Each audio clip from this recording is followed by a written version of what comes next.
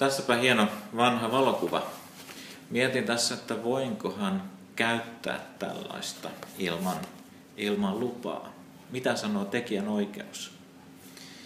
Öö, tekijän oikeus öö, ei koske valokuvauksia tai videonauhoituksia tai teatterimusiikkiesitysten äänittämistä, vaikka onhan sekin luovaa työtä. Pitää, äh, sitähän tekee sitä luovaa työtä, kun kuvaa. Se vaatii jonkunlaista ainutlaatuista osaamista, mutta tekijänoikeus ei sitä suojaa.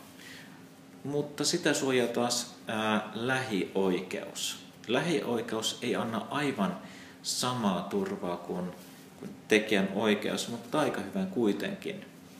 Lähioikeus suojaa tämän valokuvan 50 vuotta tämän valokuvaamishetken jälkeen.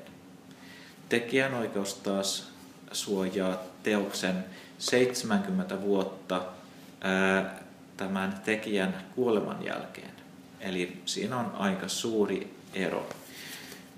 Mutta tästä on kyllä kulunut yli 50 vuotta, siis tämän valokuvan luomishetkeltä, joten tätä saisin kyllä käyttää ilman lupaa.